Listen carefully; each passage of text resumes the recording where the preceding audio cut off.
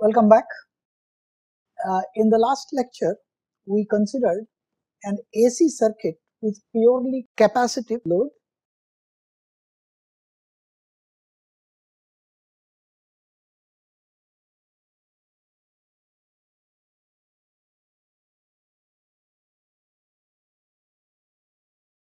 In the lecture before that, we had talked about a circuit with a purely inductive load. So let us quickly summarize what uh, we have learned so far. So what we found is this, if you take a purely resistive load,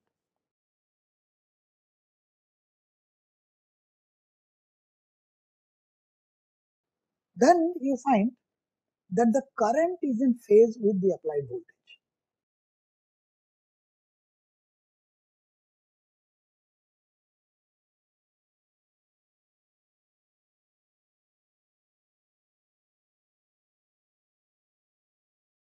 So the direction of the current in more complicated circuit uh, becomes the reference direction with respect to which we talk about whether something leads or something lags. We'll see that when we take towards the end of today's lecture uh, more complicated combinations of resistors, inductors and capacitors. What we found is that for an inductive load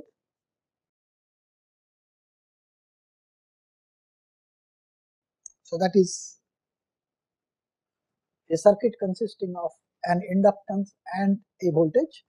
We found that the current lags behind the applied voltage. What is meant by current lagging behind is that if you look at a trigonometric variation, let's suppose a sine function or a cosine function for the voltage, then the corresponding expression for the current will be the same trigonometric function but with a phase which will lags mean be negative. So something like if voltage is varying as cosine or sine of omega t then the current will go as cosine or sine of omega t minus phi. The reverse situation happens for a capacitive load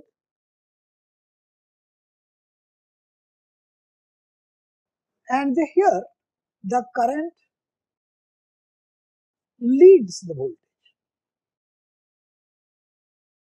In other words, the phase of the current is ahead of the phase of the voltage. And so therefore, if you are looking at a purely capacitive circuit, the current would become maximum before the voltage does.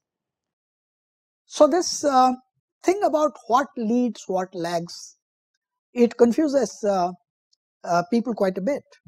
So uh, the electrical engineers have a mnemonics for that and that is written as Ellie the Iceman.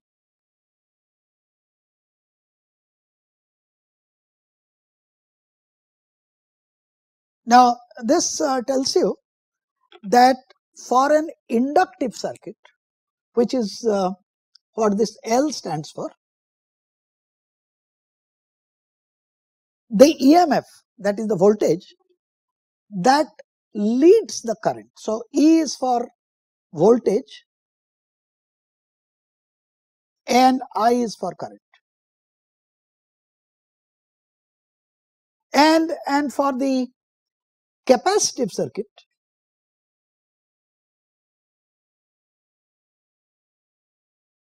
the current that is given by I, it leads the EMF or the voltage given by E. So what comes first is what is seen in this mnemonics. In both these or all the three circuits, the ratio of the voltage max to current max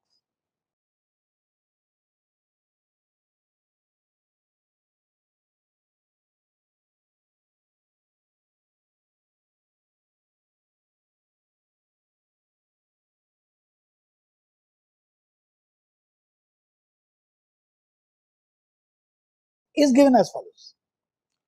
So, if I have a purely resistive circuit,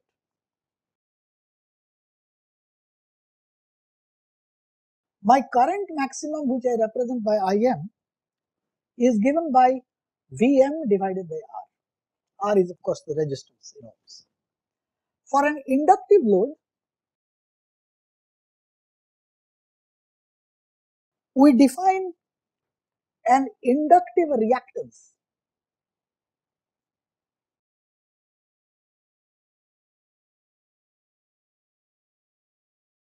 represented by XL which is equal to omega times L and this in terms of this my current is given by voltage maximum divided by XL.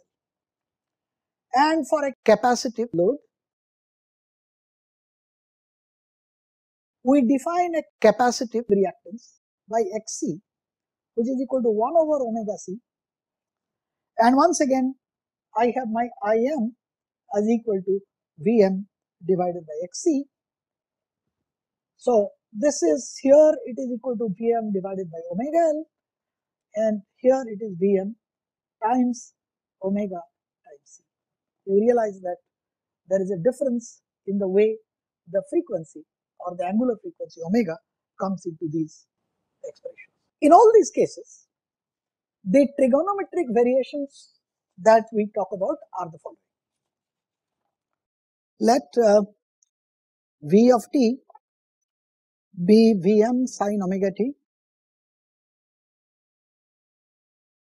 and uh, let me take uh, the current I of t as Im sine omega t plus phi.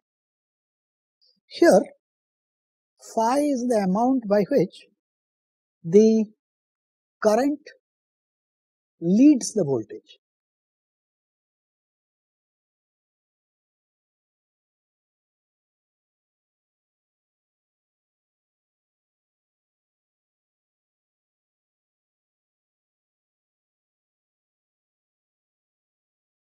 Uh, in this, uh, with this notation, if I have a purely resistive circuit, then of course uh, phi is equal to 0 which implies that current and voltages are in phase. For an inductive circuit as we have seen, current lags the voltage by pi by 2 in which case phi must be equal to minus pi by 2 because I have taken uh, the current expression to be omega t plus phi. And for capacitive circuits, the current leads the voltage by pi by 2 so therefore phi will be equal to pi by 2. I have mentioned earlier though we will not really be using it uh, when it comes to complicated circuits it becomes clumsy to deal with different types of trigonometric variations uh, for voltage, current and things like that. So in electrical engineering what is done for making the algebra simple is to uh, take for voltage an exponential form. This is just uh, a short introduction I am giving in next 5 minutes. If you find it uh, little difficult, you just ignore it because I will not be really using it as I go ahead. So what is done is the following. Supposing we take v of t instead of vm sine omega t I take Vm e to the power i omega t. Now remember that the exponential e to the power i omega t is cos omega t plus i sin omega t. As you notice that this really doesn't represent a physical situation, uh, but mathematically the function that you want which is v of t sine of omega t is nothing but the imaginary part of this function. Similarly, if you wanted v of t to be Vm cosine of omega t, then it would be represented by the real part of this function. The reason for taking Vm e to the power i omega t instead of the cosine or the sine, mathematically exponential functions are much easier to deal with than trigonometric functions. And uh, uh, in that case, what we'll do is we'll carry on with the calculations, uh, assuming the exponential functions, and then of course we'll uh, At the end, we'll say uh, we have need to take the real part or the imaginary part as the case may be. Now, if you do that, then the corresponding I of t would be given by Im e to the power i omega t plus phi.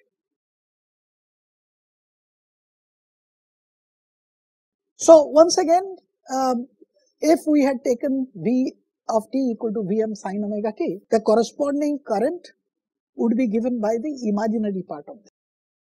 Now notice the simplification in the algebra, the complex impedance which would now be defined as V of t by I of t is given by Vm by Im into e to the power minus i phi because of the way we have taken this. And we had seen that for resistive circuits, uh, phi was equal to 0.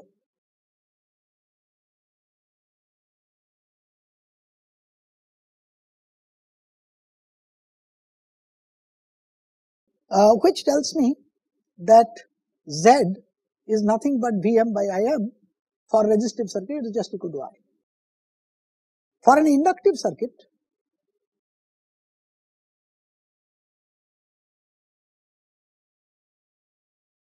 phi was equal to uh, minus pi by 2. So, and we have seen that Z is then Vm by Im which is omega L times e to the power minus i pi by 2. Well, minus, but phi itself is minus, so e to the power plus i pi by 2, and that's equal to i omega L. Likewise, for a capacitive circuit,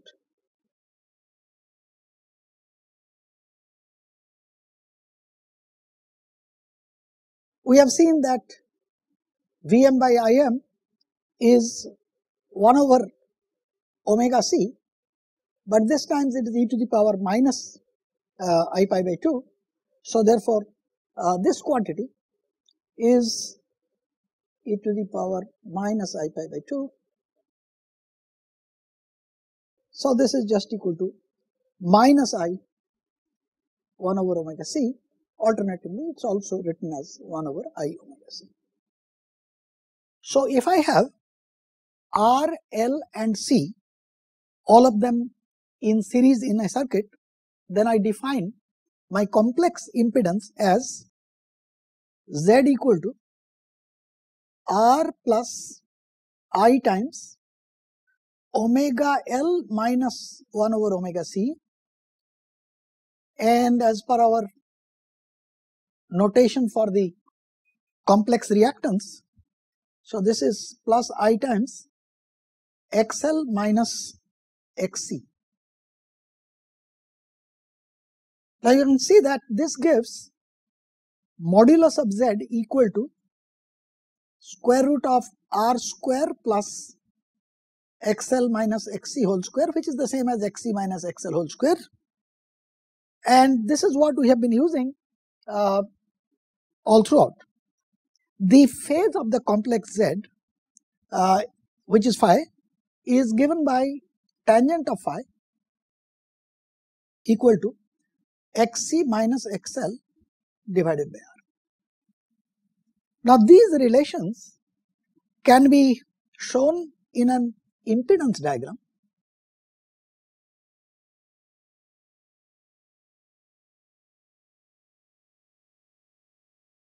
which looks like this that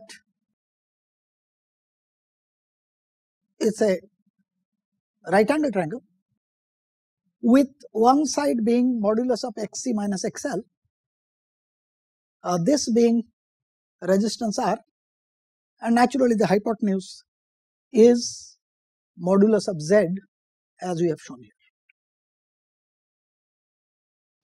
Let me look at what happened to power in such circuits. Now, what we said is that when we had a purely resistive situation, then the average rate at which it dissipates power, average power. So, average for a resistive circuit was Im square R by 2. Uh, this came because I square R is the instantaneous dissipation of power and if you take the uh, form of current to be a sine function then the uh, I square will have a sine square and over a period thus we have seen that the sine square or the cosine square function gives me the factor. So what is done is in order to make this formula look similar to the way it looks for DC circuit, we define what is known as an RMS current. We could also define RMS voltage that way. So RMS current was simply Im divided by square root of 2, which we represent as I RMS.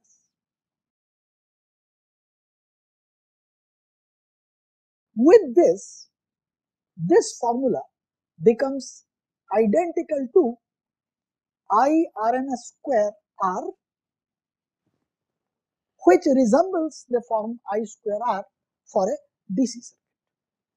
Now, this is the only element which actually dissipates power. Both capacitive and inductive circuits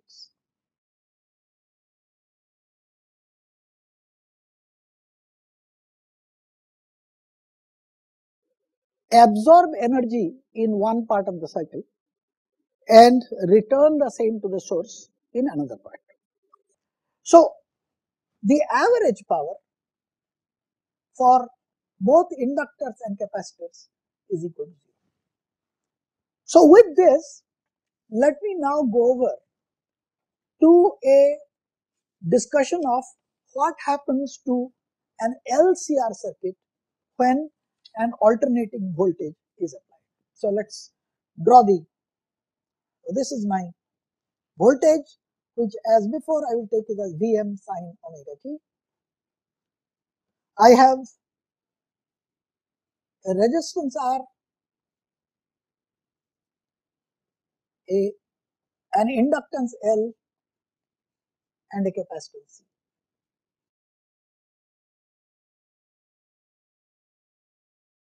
And so we will be interested in the next uh, part of the lecture in discussing the properties of an LCR circuit in the presence of a an alternating voltage. So look at this. I use still the same Kirchhoff's law and I said that whatever voltage is supplied by the source um, is dropped through R which I know is IR through L which I know is L di by dt and through the capacitor which I know is Q by C. So therefore my Kirchhoff's law tells me that Vt minus Vr, Vr is the drop across the resistor minus VL, the drop across the inductance, minus Vc is equal to 0. Alternatively, my V of t is equal to IR, this is for R, plus L di by dt, which is the back EMF expression that you remember, and plus Q over C. We will return to a formal solution of this problem little later in this lecture, but let us look at what statements I can make about this circuit. Let's look at this situation and uh, let's see what statements I can make about it. Now, one thing you realize is this, that since this element R, L and C they are in series. This is series LCR circuit. We may have different other form of LCR, So let me also write down here series LCR. So since they are in series, there can be a unique current through this entire thing. So the current must be unique.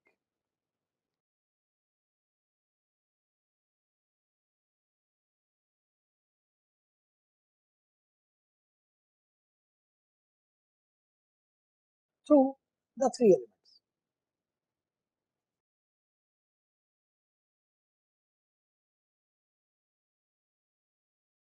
In other words, the current that we are talking about should also have a fixed magnitude and a fixed phase difference with respect to this omega. So let me take for the current in the circuit I to be equal to Im sine omega t plus phi. I have not made any statement on what phi is for the simple reason I have three components behaving in three different ways in my circuits when they were acting alone. For resistor, the phi was 0. For inductance, it was negative. For capacitance, it was positive. So, at this moment, all that I have said is the phi is 0. Now, source voltage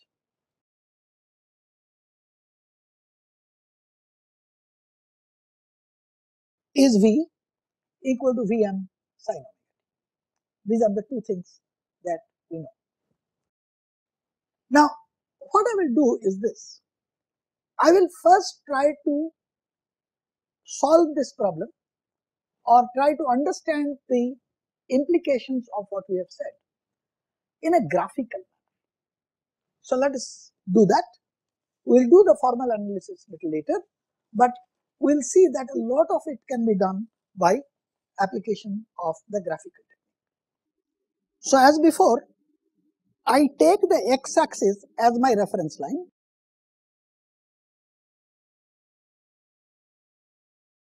So this is t equal to 0 reference.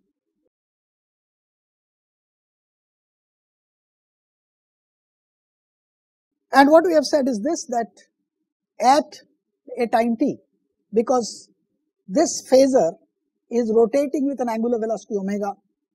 So therefore, at time t, the phasor for the voltage which was initially aligned along the t equal to 0, the x-axis, points in a direction which makes an angle with the x-axis, the angle omega t with the x-axis. So let us draw this, this is omega t.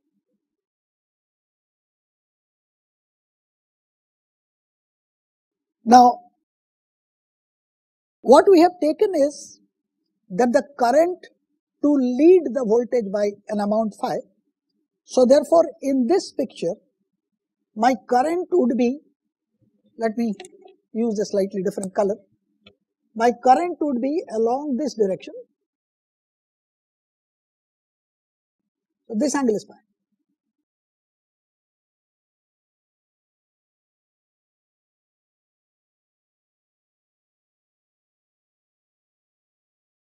and this is of course Vm.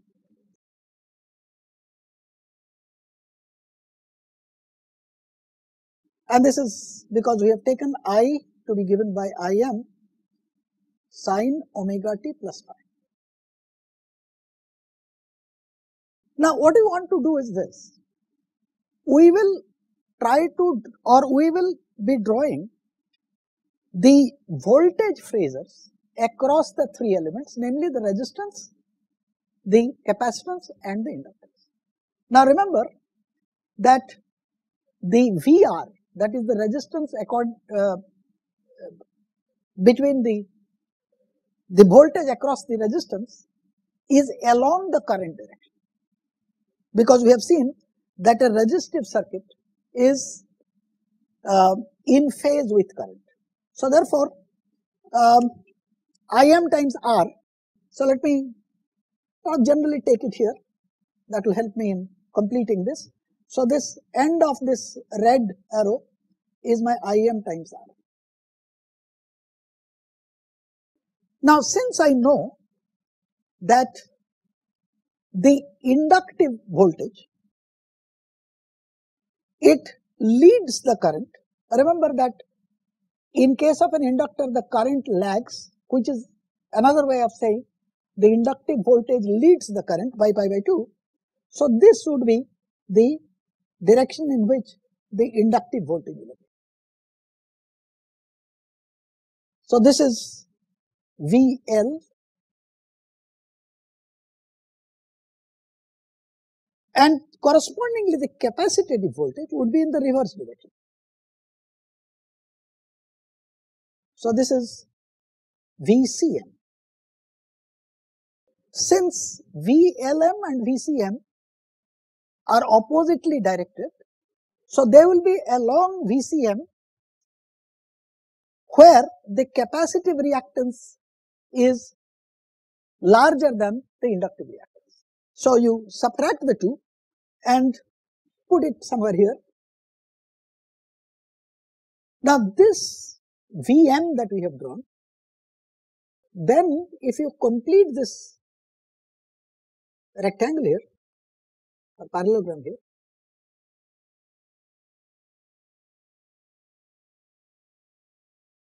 So this amount from O to whatever, let's say A. So OA magnitude is XC minus XL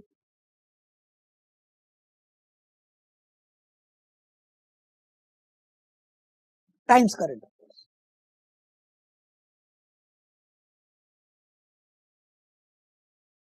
So this tells me, this graphical construction tells me that Vm square is Vm resistance square plus VCM minus VLM square and that is equal to this is Im times R whole square and this is Im XC minus XL whole square. And so therefore my Vm is given by Im times square root of R square plus Xc minus XL whole square, which is nothing but Im times Z, where Z is the quantity which is within the square root. So this is R square plus Xc minus XL whole square. Now remember when I was discussing the uh, complex nature of the impedance, I had said Z is R plus I times Xc minus XL. I am not really going to be doing it. So, so far as I am concerned, I am only interested in magnitude of that quantity and which obviously is R square plus Xc minus XL whole square square. So, this is the impedance that I look at. So, repeating once again, the impedance consists of, so that is Z, it has a factor which is R and it has XC and XL. In a vector diagram, the resistance and the these reactances, they are perpendicular and Xc and XL themselves are oppositely aligned in the vector diagram. So, this is the reason why I repeat Z is given by square root of R square plus Xc minus XL whole square, where Xc as before is 1 over omega c and XL is omega let me continue with my graphical analysis for a little longer by giving you examples. So let me take uh, consider an example, numerical example. So let me consider an LCR circuit.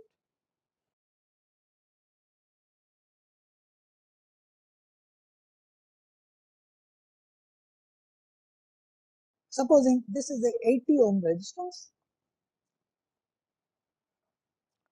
I have a 0.1 Henry inductance, and a 25 microfarad capacitance. The source is, well, I'll just give you the frequency of the source, which I will conveniently take it as 400 radians per second. Omega is let me sort of point out that 400 radians per second I am taking purely for calculation of ease. Uh, 60 hertz, uh, which is uh, reasonably common in US, corresponds to 377 ohms. Yes, 377 radian per second. But 400 is close enough so that we can take it as a reasonably physical number. So let us first make the following thing. Suppose I say that an RMS current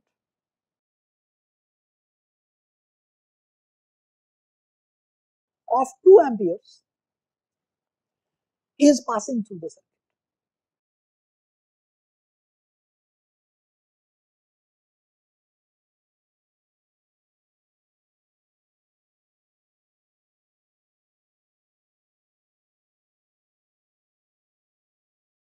Now we need to first find out various quantities and we would be interested in knowing that if this is the situation, what is my voltage like, the source voltage like. But before that, let's calculate various things. R is of course very simple, that's given to be 80 ohms. The, let's calculate the reactances. So XC is equal to 1 over omega C both XC and XL, they have the dimensions which are the same as that of um, ohms resistance. So I have taken omega conveniently to be 400. This is 25 microfarad. So 25 into 10 to the power minus 6. that is 10 to the power minus 4 in the denominator. And uh, so that takes me up there and that is 100 ohms and XL which is just omega L.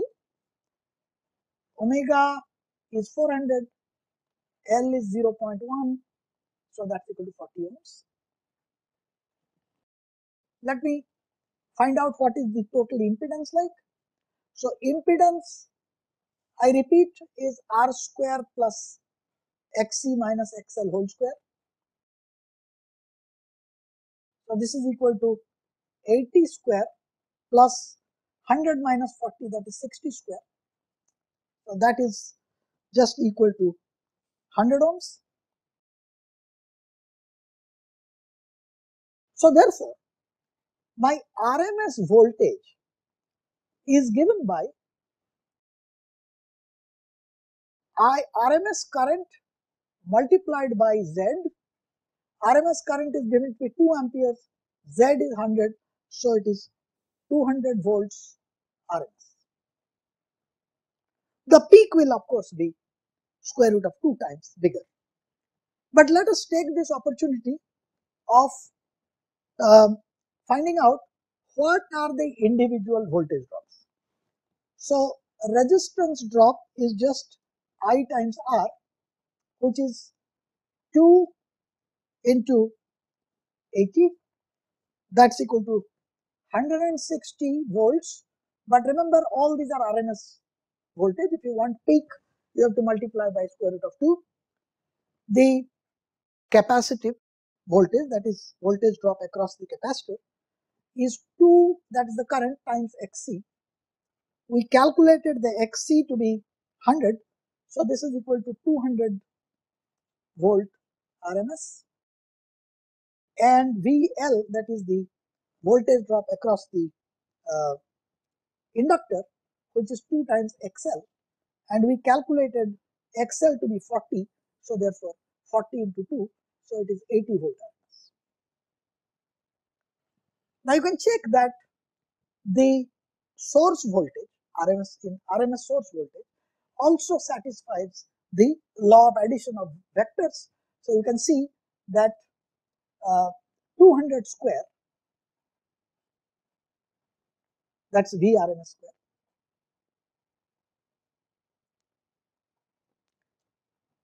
That is given by VR square which is 160 square plus VC minus VL so 200 minus 80 square. You can check this is 160 square, this is 120 square and that exactly works out to 200 square. Let us look at the phase. So return back to the diagram. The in doing these five types of problem, you have to realize if I am plotting a voltage, the statement that we have made that for an inductive circuit, the current lags the voltage implies that for an inductive circuit, voltage leads the current. So therefore, when you draw, you have to draw it keeping this in mind. So let's look at that. So let's suppose first I am trying to draw a vector diagram. So let me draw the current direction along the x-axis. That's also the direction in which the resistance drop takes place. So this is, let's take this is VR. And we just now calculated that my VR was 160 volt RMS. So this is 160. Now, so let me let me write it down here. VR is 160. These are all RMS values. VL was 80 and VC was uh, 200 volts.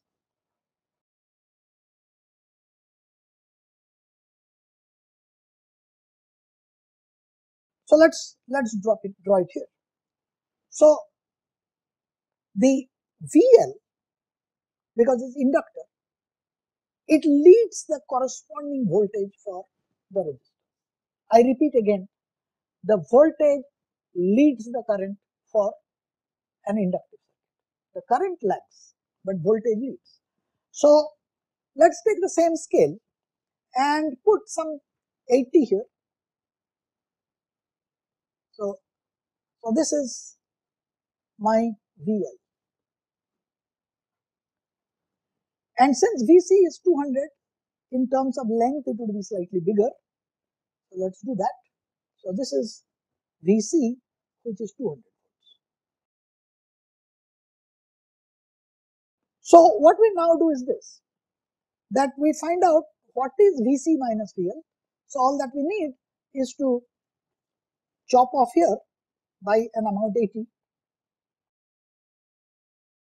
So this is Vc minus Vl. And if I am drawing the parallelogram here, then so this quantity is 200 minus 80 which is 160.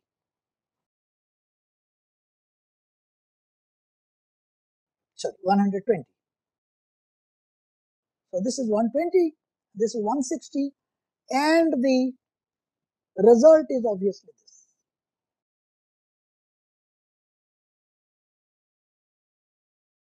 So this is my Vmax for the source. Let me just put S there to indicate source. And we have seen that 120 square plus 160 square is 200 square. So therefore the length of this is 200. It is just accidental that this 200 and that 200 happens to be the same number. But look at this phase here. This is the. So notice the resultant voltage is lagging behind the current. Okay. So resulting voltage that is the supply voltage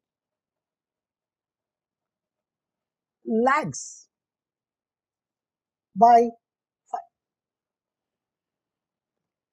And how much is phi? You can immediately calculate. Phi is tan phi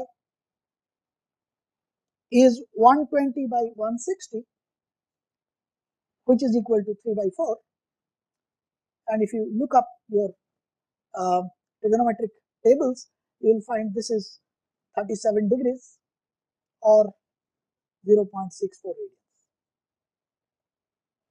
So this is the angle by which the, this is the phase lag of the total voltage with respect to the current or with respect to the resistive load. Now, incidentally, this situation that the net supply voltage lags behind the current happened because the capacitive reactance is larger than the inductive reactance. So as a result, the this circuit is primarily or let's say predominantly a capacitive circuit. This circuit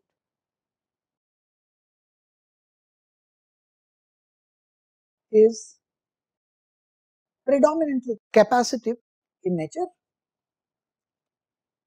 Hence, voltage lags current. And the reverse would be true, which we will also show you by uh, taking some other example. If you had taken a situation where the inductive reactance is bigger than the capacitive reactance. Now look at this. What does it actually mean? What does this phase signify?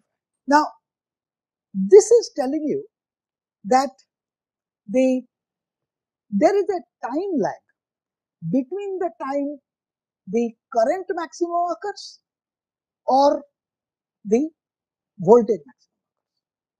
Now, look at what we have said. We have said that my current is Im omega t plus phi and uh, the voltage maximum occurs at omega t equal to pi by 2 whereas current maximum occurs when omega t plus phi is equal to pi by 2. So therefore, there is a time lag. So time lag between current maximum and voltage max. This is done by observing that I max becomes occurs when omega t plus phi is equal to pi by 2. The voltage max occurs when omega t is equal to pi by 2 because it's just a sine omega t. So therefore, the time lag is given by phi by omega is equal to, now we have said, now you have to be careful, this phi must be in radian. Uh, so this was 0.64 radian divided by omega which is 400 radians per second which is equal to 1.6 milliseconds. Now, one of the things that I would like to point out is to for you to observe what happens when omega increases.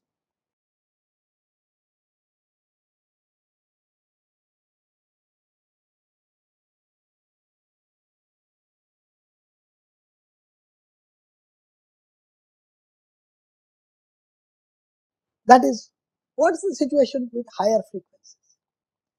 You see, what happens if your omega increases, then this phi, which we had worked out, is tan, tan of phi is uh, given by uh, xc minus xl divided by r.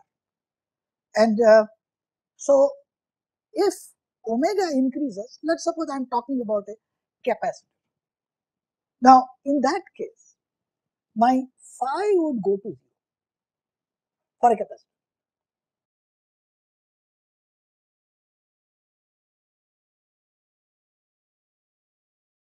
And the reason is very simple. We had said that my tan phi is xc minus xl divided by r.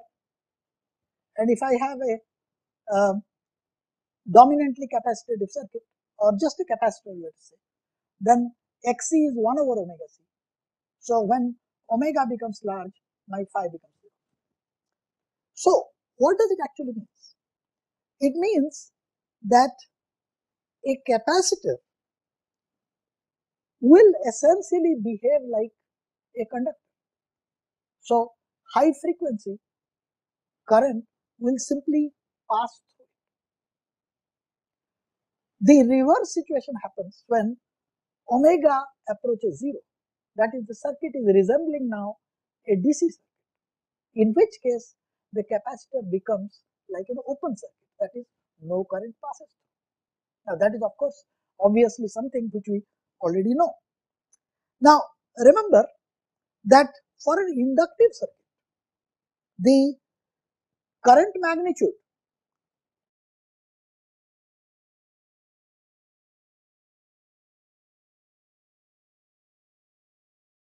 So here what we said is capacitor behaves like a conductor.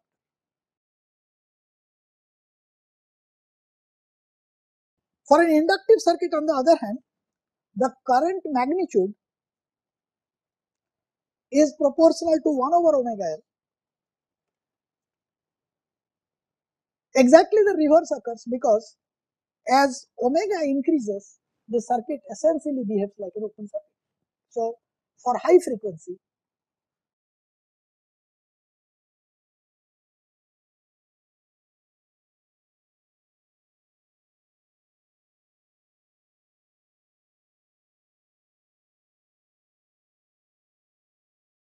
and of course, reverse is true if you have essentially a DC passing through. In this LCR circuit that we have talked about, which we calculated various things, what is the average power delivered?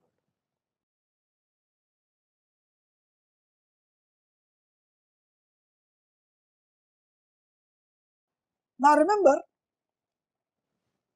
that the only element of an LCR circuit which dissipates power is the resistive element because on an average the capacitor and the inductor do not dissipate power. They absorb and release.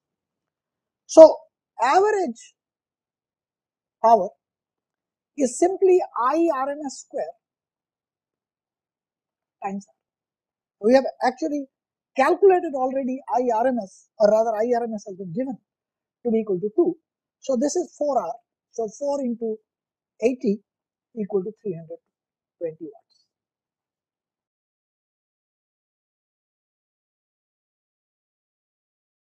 As another example, let me take an RC circuit.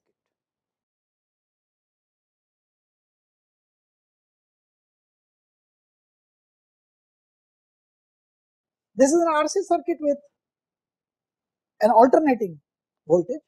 Let me take numbers. R is equal to 3 ohms. C is equal to 2.5 into 10 to the power minus 4 farad, which is 250 microfarad. Let's take omega oh somewhat high frequency, 1000 radians per second. And let's also take the supply voltage Vmax is equal to 5 volts.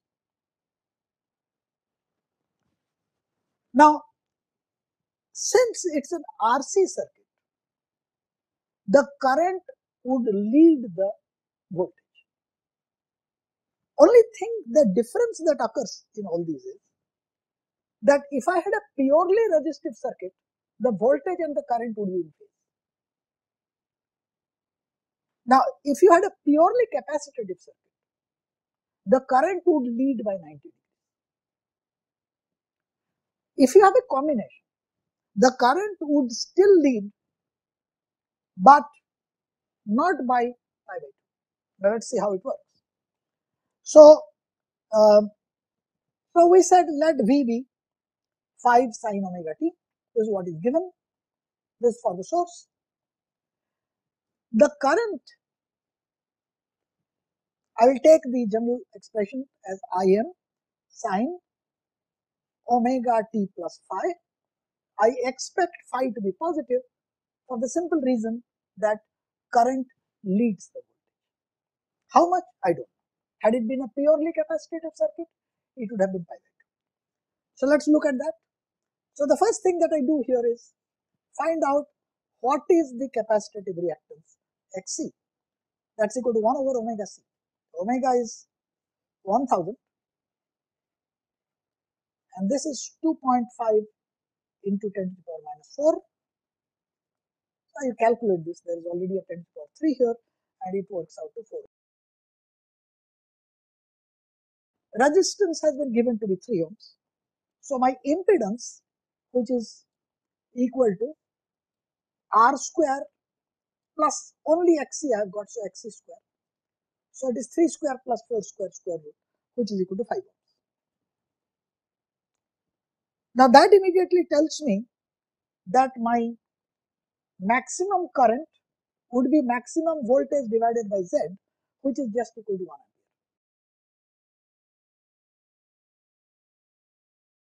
What about VR max? Which is simply equal to IR. I is 1 ampere, R is 3, so it is 3 volts. What is the VC max? Now this is where you must remember I am not adding. In series resistance circuits, the drops simply added. But I am not adding it. And that would be given by I divided by omega c, IXC. So this is 1 over omega c was 4, so 4 into 1 so that's equal to 4 volts. Once again you realize that I have 3 volts drop across resistance, 4 volts drop across the capacitor, but the total drop is square root of 3 square plus 4 square which is equal to 5 and let us show it in a diagram. So this is my current direction, that's my VR the now remember again I'm drawing the voltages. So though current leads the voltage, voltage lags. So hence the negative y axis. So this is my VC which is equal to IXC and if you complete this you find that that is your supply and you can easily calculate how much is this angle? Phi. This was uh, 3, this is 4. So tan phi is equal to 4 by 3. Let me give an illustration for uh,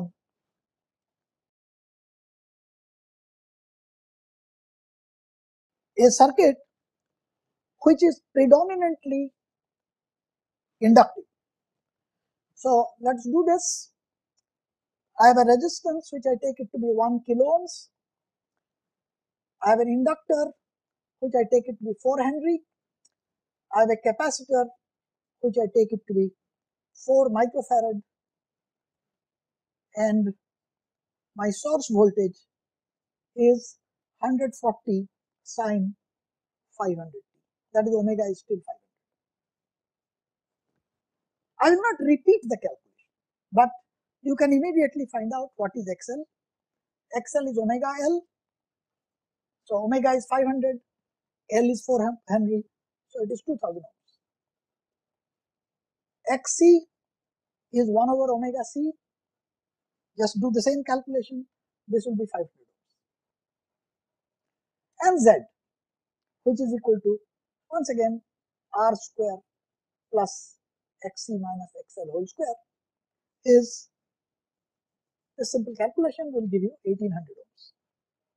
So maximum current is 140 divided by 1800 which is equal to 0.078 amperes. RMS is obtained by dividing by square root of 2 which will work out to be 55 milliamps. Now repeat the same. How much is VR max? You have got IR already. I is this, R you know, and you will get, if you do it correctly, R is 1 kilo 78 volts. Simple mathematics, arithmetic, I am not doing it. I will simply illustrate the last thing. VC max is I max times XC. This will turn out to be 39 volts. VL max will work out to 156 volts. So if you calculate the tan phi now, which is equal to XC minus XL YR, you will get it as minus 56 degrees. The corresponding vector diagram is this. This is your VR. In this case, my VL is bigger. So this is a much bigger one. VC is smaller. So therefore, this is the way I would draw the diagram and this would be fine. So in other words, you can see the current lags the voltage by 56. So in this lecture, what we have done is to look at a combination of LCR circuit and we have defined what are meant by reactances for the inductive and the capacitive elements. We defined impedance and then we talked about a graphical analysis of the LCR circuit to determine current, voltage and things like that. In the next lecture, we will be doing a formal analysis which will require the solution of a second order differential equation, but we'll sort of take it up